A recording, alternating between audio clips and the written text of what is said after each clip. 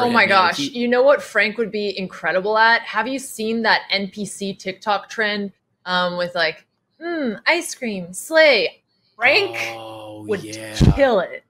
Oh, Frank. Oh my god. Oh god. my Can you God. We Frank, can't that- steal him from a- the chess world like that, though. No, no, nobody tell him. Nobody tell him. Can you imagine Frank sitting there going, "Oh, that's tasty. Oh, that's tasty." You know, and just like you know, I, I can't do them for him because I'm not Frank. Oh, that's yeah, that might be his route right there to a nine-figure net worth. Um, Pawn cake, kind of- so good. Yes, yes. oh, so- oh my, oh my god, we, we, we can't we can't we can't lose Frank. Yeah. To should, the should we NPC just world. commentate like that the entire? No, just kidding. In before No, I I- get fired.